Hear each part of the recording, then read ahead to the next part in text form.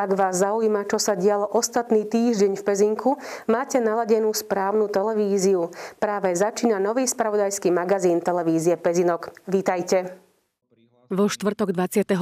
marca sa konalo online rokovanie Mestského zastupiteľstva v Pezinku. Hneď v úvode boli poslancom prezentované zástupcami Bratislavskej vodárenskej spoločnosti informácie ohľadom pripravovanej investičnej aktivity kanalizácia Grinava. Úspešne začíname tento projekt realizovať už v štvrtom mesiaci, to znamená budúci mesiac. Máme vysúťaženého zhotoviteľa, e, realizácia sa bude robiť časového harmonogramu v prvej etape tej Kostrovej, to sa nachádza sa v tej hlavnej ulici od Limbašského e, potoka smerom až e, Griňava, Pezinok, to znamená križovatka pred Teskom, tak ten kruhový objazd. Momentálne so zazvoleným zhotoviteľom, ktorými sú vodospodárske stavby Bratislava, prebieha prípravné práce na vysúťaženie materiálu, zabezpečenie rozkopávkových povolení, projekty dopravného značenia, všetko k tomu, aby sa fyzicky mohlo začať kopať.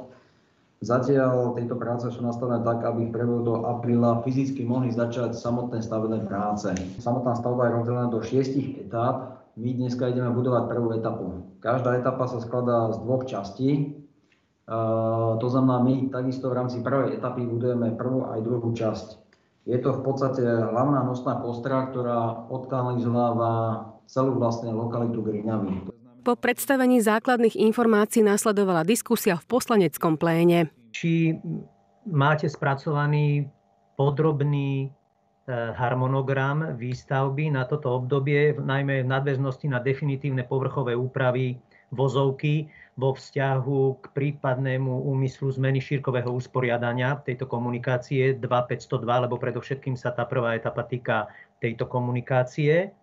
Čiže či máte taký podrobný harmonogram a či by bol k dispozícii pre e, mesto, aby sme vedeli, v ktorých reláciách časových, keďže je to rozvrhnuté až do, jak som si všimol, do decembra 2022, by bolo potrebné túto záležitosť po prípade dorešiť so správcom a vlastníkom 502. Čo sa týka spätných úprav, respektíve zúženia pruhov a vytvárania nejakého zeleného pásu, to, čo tam bola tá myšlienka z vašej strany, priznám sa, v tomto smere my e, to, čo môžeme spraviť, je len to, aké nám dajú podmienky správci komunikácií, tak do tých musíme vrátiť. Čiže v prípade, ak e, chcete redukovať jazdné pruhy, bolo by dobré, aby ste ako mesto spracovali tomuto dokumentáciu, ktorá by bola následne odsúhlasená dopravným inšpektorátom a zrejme asi aj správcom komunikácie. My sme sa už o tomto zúžení bavili niekoľkokrát a aj na Mestskej rade, aj myslím v rámci diskusí na zastupiteľstve a myslím, že bola taká všeobecná zhoda, aj keď to nebolo nejak e, ukotvené v nejakom uznesení, že skôr, než sa rozhodneme, či to zúžime alebo nezúžime, tak sa urobí analýza dopravnej situácie. Dokonca sme sa bavili, a myslím, že to bolo pán primátor na váš návrh, že by sme skúšobne jeden pruh zavreli na týždeň, na dva, aby sme videli, čo to urobí s dopravnou situáciou. Skôr než sa rozhodneme, skôr než zadáme požiadavku na zníženie počtu jazdných pruhov, aby to prešlo verejnou diskusiou a aby to bolo schvalované v mestskom zastupiteľstve. Pán kolega Alexi spomenul, že bola by dobrá verejná, verejná diskusia za obyvateľov e, Grinavy. Čo sa týka zúženia tejto cesty, tak e, môžem povedať, že určite by boli všetky desiatí, všetci za to, aby sa zúžila. Tá cesta je nebezpečná, chodia ich deti cestu, e, cestu či na vlak alebo v rámci dopravy a je to naozaj veľmi vyťažená cesta a e, si myslím, že nielen ľudia, ktorí ju využívajú, ale v prvej rade ľudia, ktorí tam bývajú vedľa tej cesty na tej Mysleneckej ulici, by zobrali E, určite variantu, ktorá by zúžila cestu a pri ich domoch by vznikli buď odstavné e, parkoviska, alebo zelený pás, alebo cyklochodník, priestor na cyklochodník. Ja by som poprosila možno rozšíriť ten návrh pána Alexiho, aby bolo najskôr pracovné rokovanie poslancov z vedením mesta so stavebným oddelením, aby sme si prešli e, celý tento zámer aj zo strany, ktorú bude realizovať mesto, Považujem to za veľmi dôležité aj k tomu, čo tu odznelo, že by malo prísť k nejakému inému usporiadaniu komunikácie. Táto téma bola rozoberaná na Mestskej rade, ale my ako poslanci sme sa k tejto téme ešte nevyjadrovali, takže mám za to, že by bolo dobre, aby bolo pracovné rokovanie poslancov s oddelením výstavby, s vedením mesta, aby sme dostali čo najviac informácií. Určite by som zvolala rokovanie, verejné rokovanie s občanmi, pretože áno, v prvom rade sa to týka Grinavy, ale týka sa to celého mesta Pezinok, pretože je to nosná, tepná nášho mesta a ak tam príde k obmedzeniu, tak je potrebné, aby to bolo odkomunikované s ľuďmi. Ak som vás pozorne počúvala, tak e, v tejto prvej etape, ktorú idete robiť, e, by to mala byť dĺžka zhruba asi 2,1 km a povedali ste, že celkovo by tá Grínava predstavovala asi 10 e, kilometrov. Tak chcem sa spýtať, že váš pohľad na to, alebo ak už máte nejako, že koľko to vlastne bude etáp celkovo, Určite nepokrieme 100% všetkých, teda všetkých jednotiek bytových, ktoré tam sú, ale koľko etap sa teda kvázi predpokladá tom eh, ďalšom a z toho vyplýva aj tá moja otázka, ktorú som chcela počuť, že či táto prvá, ktorá je, ktorú odhadujete na vyše 2,6 milióna, či je kvázi tá najťažšia. Čo sa týka tých etap, tak v podstate, ako som spomínal, my teraz budujeme prvú etapu kompletne, prvú aj druhú časť eh, celkových šiestich etap. Čo sa týka tej technickej náročnosti, ono ťažko sa dá povedať, že či toto je tá ťažšia a potom tie ľahšie etapy. Teraz je to možno ťažké z hľadiska toho, že máme tam e, štvorprúdovú cestu, ktorá je dosť frekventovaná, e, tým pádom aj zvýšený pohyb chodcov, aut, všetkého, čiže v tomto smere bude technicky náročná. Zase na druhej strane tie vedľajšie uličky, ktoré tam sú, ktoré by mohli byť v tomto smere dosť jednoduchšie, budú paradoxne v tomto komplikované, pretože tie cesty, ktoré tam sú, nie sú veľmi široko usporiadané, čiže tam budú možno ďaleko väčšie obmedzenia pre tých obyvateľov lokálne. Ja by som vás chcel poprosiť, eh, keby ste nám mohli dať nejakú informáciu alebo ozrejmiť, jednak aj časovo, ale jednak aj povedzme, ako teraz pred chvíľkou kolega spomínal, tie uzávery, ktoré budú v jednotlivých prúhoch. Uh, máte nejakú skicu alebo nejakú informáciu o tom, ktorú by ste mohli hľať, dať nejakým spôsobom polopáte, teda hlavne teda nám všetkým, uh, aj poslancom, ale aj obyvateľom, akým spôsobom bude čo uzatvárané, ktoré pruhy budú uzatvárané, aké dĺžky prípadne budú uzatvárané a nejaký časový harmonogram toho uzatvorenia, že aby sa ľudia vedeli pripraviť, keď to začne. Dneska sa rokuje hlavne s dopravným inšpektorátom a správcom komunikácií ohľadne podmienok, e, za ktorých budeme môcť samotnú prácu vykonávať. To znamená, riešením je rozsah e, jednotlivých etáp, to znamená, koľko metrov celkovo môžeme rozkopať a či vôbec nám povolia rozkopať na oboch stranách. Pretože my ideme budovať v rámci Myslenickej ulice po oboch stranách e, kanalizáciu. To znamená, my by sme reálne zabrali na každej strane minimálne jeden celý jazdný pruh, ale plus v rámci samotného prístupu, odjazdu bude čiastočný zásah e, lokálny aj do ďalších pruhov. Čiže toto teraz nie je o nás, že či my si to uzavrieme alebo zhotoviteľovi, ale hlavne o dopravnom inšpektoráte a správcovi komunikácie. Návrh poslanca Pavla Alexiho urobiť technický test zníženia počtu jazdných pruhov, následne verejnú diskusiu až potom schvaľovanie v mestskom zastupiteľstve bol schválený. Zabolo 11 poslancov, dvaja proti a 8 sa zdržali hlasovania. Materiál ako celok zobralo mestské zastupiteľstvo na vedomie, 21 poslancov bolo za. No ja som veľmi rád, že posledné rokovania naozaj prispeli k tomu, aby sa konečne o Greenave nehovorilo len o nejakej vízii, ale Konečne sme sa prehúpli do stavu, že ide sa to realizovať. Na poslednom mestskom zastupiteľstve teda zazneli aj reálne kroky. To znamená, že zhruba od apríla tohto roku, čiže už od ďalšieho mesiaca, má nastúpiť e, stavebná činnosť v, v rámci budovania kanalizácie Grínava. Tá e, ide o prvú etapu, ktorá hovorí o území od obchodnej akadémii a bude sa kopať až za odbočku na grob, čiže celá tá hlavná Myslenická ulica. No a e, predpoklad časový je taký, že apríl 2021 začiatok, koniec roka 2022 ukončenie stavebných prác, následne kolaudačné práce, čiže zhruba do septembra 2023 by malo byť naozaj všetko už aj postavené, aj skolaudované. Hovorí sa o investície zhruba 2,7 milióna a teda ide o hlavnú a kostrovú časť kanalizácie Grinava, aby následne mohli byť vybudované aj ďalšie ulice a napojené na túto kostrovú časť. Celú diskusiu a všetky informácie ohľadom investičnej aktivity kanalizácia Grinava si môžete pozrieť zo záznamu Mestského zastupiteľstva v Pezinku, ktorý nájdete na našom YouTube kanáli TV Pezinok Live. Programe marcového online zastupiteľstva mal byť aj bod návrh VZN o chove a držaní zvierat na území mesta Pezinok. Ten bol na základe poslaneckého návrhu Jozefa Chinoránskeho z rokovania stiahnutý.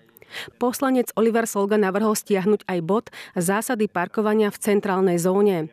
Tento návrh neprešiel. Viceprimátorka Mária Wagingerová navrhla do programu doplniť bod zaradenie súkromnej materskej školy v Grinave do siete škôl. Ani tento návrh v hlasovaní neprešiel. Následne sa poslanci venovali aktuálnemu stavu pohľadávok mesta Pezinok nad 1000 eur a informáciám o prijatých rozpočtových opatreniach. Bod voľba náčelníka Mestskej policie Pezinok bol na návrh poslanca Romana Máča odsúhlasený ako neverejný. Po takmer trojhodinovej neverejnej diskusii poslanci schválili, že od 1. apríla sa novým náčelníkom Mestskej policie Pezinok stane Igor Švarc. Následovali prevody a nájmy nehnuteľností. Okolo pol piatej avizovali viacerí poslanci, že sa budú musieť odpojiť, preto bolo rokovanie Mestského zastupiteľstva prerušené a dohodnuté, že bude pokračovať vo štvrtok 8. apríla od 13. hodiny. Mesto Pezinok a Mestský podnik služieb aj tento rok pripravia jarné celomestské upratovanie, v rámci ktorého budú môcť Pezinčania bezplatne zlikvidovať veľkoobjemný a nepotrebný odpad z domácností a záhrad. Celomestský zber sa bude konať od štvrtka 15. do soboty 17. apríla. To znamená nejaký nadrozmerný veľkoobjemový odpad typu starý nábytok, koberce, rôzne iné linole a podlahové krytiny, kovové veci, sklenené veci, biologický odpad zo záhrady, nejaké väčšie časti orezaných konárov alebo révy alebo dosky, sklo, plasty, dokonca aj pneumatiky, pokiaľ budú bez diskov, tak to všetko ostatné vlastne vieme od ľudí prevziať. Okrem toho, čo už som povedal, je možné samozrejme priviesť aj bežné elektrospotreby, typu staré rádia, práčky, chladničky dva typy odpadu neberieme my do nášho miesta a to sú drobné stavebné odpady, to znamená nejaké sútiny, tehly, obkladačky, betóny, dlažba, všetky veci tohto charakteru. A druhá kategória sú tzv. nebezpečné odpady, to znamená rôzne nejaké farby, plechovky od farby, žiarivky, batérie a podobné záležitosti. Tieto kategórie odpadu dve v rovnakom čase od 8. do 6 môžu samozrejme ľudia doviezť, ale do areálu firmy Marius Petersen na Viničianskej ulici. Keďže sa ešte stále nachádzame v núdzovom stave a sú platné prísne opatrenia, aj celomestský zber sa bude realizovať za dodržania všetkých aktuálne platných nariadení. Areál je uzavretý, to znamená, že väčšina ľudí ho dovezie ten odpad autami a naši kolegovia budú usmerňovať tak, aby v areáli vždy bol len nejaký obmedzený počet ľudí všetko prebehne bezkontaktne, to znamená, že ten človek, ktorý si odpad dovezie, ten si aj vlastnoručne vyloží do na to pripravených kontajnerov. Samozrejme, sú rúška, odstup a všetky tieto bežné záležitosti dodržíme. Zapíšte si teda do kalendárov termín 15. až 17. apríl, kedy budete môcť vyhodiť v areáli na Fajgalskej ceste v Pezinku v čase od 8. do 18. hodiny veľkorozmerný a nepotrebný odpad. Celomestský zber je určený výhradne pre obyvateľov s trvalým pobytom v Pezinku. Tí majú túto službu zadarmo tomto týždni sa začínajú najväčšie kresťanské sviatky Veľká noc. Ich slávenie je aj tento rok poznačené pandémiou. Kostoly ostávajú pre veriacich aj naďalej zatvorené. Aj napriek aktuálnej situácii s koronavírusom ostáva posolstvo Veľkej noci stále rovnaké. Ježiš Kristus obetoval svoj život za nás a tým zvíťazil nad smrťou, hriechom a zlom. Mnohí sa pýtate, akým spôsobom prežívať Veľkú noc za súčasných okolností. Čo vôbec pre nás znamená? Myslím, že táto doba nás pozýva, aby sme na všetky tie sviatky pozreli aj trochu z iného uhla pohľadu. Na zelený štvrtok, keď si spomíname, ako Ježiš v Gecemánskej záhrade opustený a v úzkosti prosí svojho otca, sa s ním môžeme spájať, lebo mnohí sa cítia v súčasnej situácii opustení. Mnohí nielen prežívajú strach, ale priamo sú postihnutí touto pandémiou, prežívajú chorobu. Tí sa zase môžu na Veľký piatok spájať s utrpením pána Ježiša. Ako vraví svätý Pavol, na svojom tele doplňam to, čo chýba Kristomu utrpeniu pre dobro jeho tela církvy. Biela sobota je dňom, kedy e, si pripomíname to, ako Ježiš ležal v hrobe a mnohí z nás v tomto čase stratili svojich blízkych, či už príbuzných alebo priateľov. Bolesť, ktorú e, nosíme v srdci, môžeme spojiť s bolesťou Panny Márie, ktorá držala svojho syna v náručí, ktorá ho pochovala, ale ktorá bola plná nádeje, že príde víťazstvo. A veľkonočná nedeľa, deň zmrtvých stania pána, je pre nás dňom nádeje, že zo všetkého je možné postať. Nastal nám čas preradosný, kresťania plesajme. Nadišiel čas veľkonočný, radosne spievajme. Vyšiel z hrobu náš spasiteľ, zvíťazil náš vykúpiteľ, chválu mu vzdávajme. Tieto slova nádherné charakterizujú veľkonočné posolstvo. Kristus vstal. Je to dôvod k radosti, lebo v jeho víťazstve nad hriechom a smrťou je nádej pre nás všetkých. Nebo nám je otvorené. Kristus nám otvoril bránu, prístup k Otcu Nebeskému. To je dôvod k radosti. Isté, že Veľká noc je charakterizovaná každoročne tým, že je v jarnom období. Všetko sa prebúdza k životu. Pôsobí to na človeka s takou radosťou. Ale to je nič v porovnaní s tým, že smrť, odveký nepriateľ človeka, je porazená. Porazená skrze Kristovo víťazstvo. Veľká noc je najstarším a najvýznamnejším sviatkom kresťanského cirkevného roka, počas ktorého si veriaci pripomínajú umúčenie, smrť a vzkriesenie Ježiša Krista. Veľká noc však nie je len oslavou zmrtvých stania Ježiša Krista, ale aj oslavou príchodu jary. V pezínskych lesoch sa každoročne vysadí niekoľko stovák nových stromov. Ich životnosť je ale do veľkej miery ovplyvnená zverou, ktorá si na mladých stromoch pochutnáva a tak ich ničí.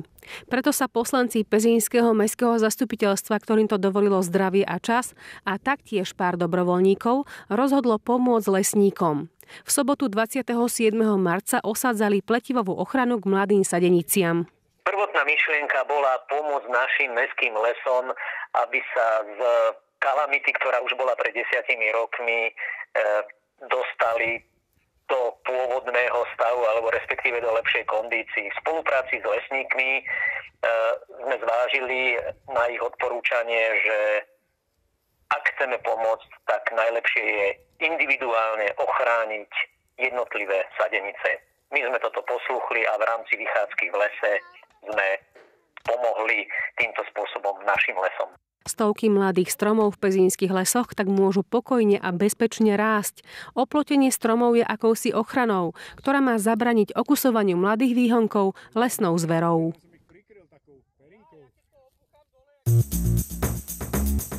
Máme tu už oficiálne jar, s ňou je spojené aj upratovanie v záhradách či na chatách. Častejšie navštevujeme aj prírodu. V mnohých prípadoch ľudia porušujú zákon o ochrane pred požiarmi a jarný požiar v záhrade alebo v lese je na svete. Našich poznatkov riziko z týchto mesiacov vlastne je spôsobená tým, že ľudia viacej sa dostávajú do prírody, zlepšuje sa počasie, je väčší pohyb osôb ľudí jednak v prírode, v lesoch, ale aj v záhradkách a v rôznych obrábaných e, oblastiach, záhradkárských osadách, poliach a podobne. A súvisia s tým jednak jarné práce a jednak teda výchádzky do prírody. A súčasne to počasie sa natoľko zlepšuje, že, že slnečko sa trošku oprie a dochádza aj k väčšiemu presušovaniu tých, toho pôdneho povrchu a toto všetko, táto kombinácia faktorov vplyvá na tú vyššiu rizikovosť požiarov v jarných mesiacoch. Jarné počasie sa zatiaľ iba rozbieha a pezínsky hasiči doteraz nezaznamenali výjazd požiaru, ktorý by bol spôsobený vypaľovaním či nedbalosťou v prírode. Momentálne ešte taká tá sezóna sa dá povedať, že nezačala. E, minulom roku napríklad za obdobie prvých 5 mesiacov, to je január až máj, bolo 65 požiarov, z toho do marca bolo 21 e, a v apríli nám vybehla požiarovosť až na 33 požiarov len tam, v tom jednom mesiaci. Z toho hľadiska aj očakávame, že tie kritické mesiace alebo dni ešte len prídu. Nebezpečný môže byť nielen vyhodený cigaretový ohrok na suchú trávu, ale aj založený oheň či spaľovanie suchej trávy či vínej révy. V každom prípade by sme nemali zabúdať na zásady protipožiarnej bezpečnosti. Ľudia by sa mali správať najmä zodpovedne a používať oheň bezpečne. Na jednej strane je absolútne zakázané nejaké vypalovanie porastov, trávy, krovín. Tieto porasty jednoducho sa nesmú vypalovať jednak z hľadiska ochrany pred požiarmi, ale aj z hľadiska životného prostredia a ochrany prírody. Ďalej, čo sa týka rôzneho spalovania e, krovín, drevín, suchého listia, takisto e, toto zákon neumožňuje a e, nesmú sa vykonávať takéto činnosti. Pokiaľ ľudia potrebujú založiť si nejakého dôvodu oheň, vždy to musí byť na bezpečnom mieste, kontrolovanom mieste, priestore, ktorý je na tom vyhradený. My sledujeme e, takmer každodenne e, hydrometeorologický ústav, ktorý vydáva výstrahy aj čo sa týka indexu požiarného nebezpečenstva a v prípade, že sa to riziko zvýši, tak okresné riaditeľstvo vyhlasuje e, zvýšený čas nebezpečenstva požiarov a tam potom nastupujú ešte prísnejšie opatrenia. V minulom roku vyhlásilo okresné riaditeľstvo Hasického záchranného zboru v Pezinku už na začiatku apríla pre okresy Pezinok a Senec čas zvýšeného nebezpečenstva vzniku požiarov, nakoľko bolo extrémne sucho a teplo. Momentálne takéto riziko v Pezinku a okolí nemáme.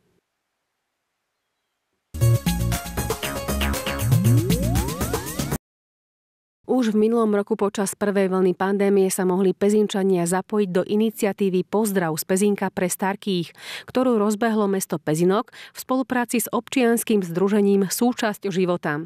Vlastnoručne vytvorenou pohľadnicou ste mohli potešiť svojich starých rodičov či seniorov zo sociálnych zariadení. Túto možnosť máte aj teraz a dobrý pozdrav môžete poslať svojim blízkym aj pred Veľkou nocou. Teraz sme zvolili jarné témy, zvieratka, ktoré sú teda buď charakteristické, alebo aspoň sú príbuzné. E, dali sme tam štyri varianty zvieratok, sovičku, ovečku, zajačika a včielku. Je to určené komukoľvek táto pohľadnica. Nešpecifikujeme tu teraz, že či to je škôlka alebo k akémukoľvek jednotlivcovi, ktorý vie o tom, že je tu takáto možnosť. Pohľadnica s dobrým skutkom, vie si to od nás kúpiť, objednať.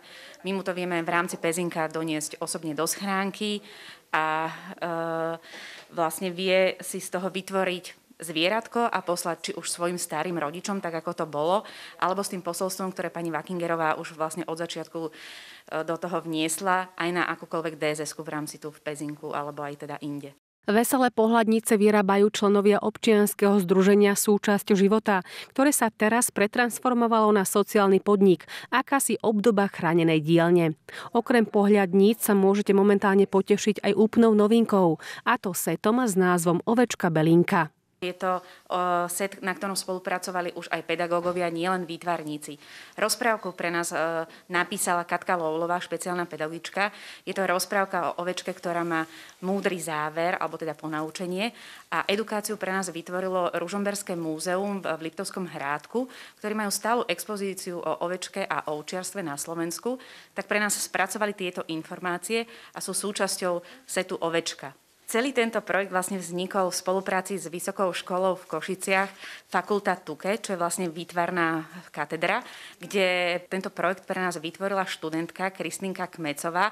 Ona je teda autorkou a ide vlastne o drevené koliesko s ovečkou, s pečiatkou, kde si pravou oučou vlnou dieťa vypletie svoju ozdobu a môže si tým okrašliť e, svoju izbičku alebo dať si to na okno, na dvere a popri tom teda získava aj tieto edukatívne informácie, ktoré sú v tomto sete. Kreatívny set je určený deťom materských škôl ako aj žiakom prvého stupňa základných škôl. Je to určené pre škôlku, by som povedala, alebo teda pre vekovú skupinu od 5 rokov, ale tam musí byť spolupráca s mamičkou alebo teda s pani učiteľkou, ktorá im ten text prečíta, alebo už potom deti, ktoré sú prváci, kde im dávame aj možnosť stiahnutia na webe pracovný list o ovečke a ďalších užitočných informáciách alebo také hravé možnosti zábavy, kde si tú ovečku môže vykresliť, nájsť rôzne rozdiely, priradiť stopy k zvieratkám a zistiť, čo ku ktorému patrí.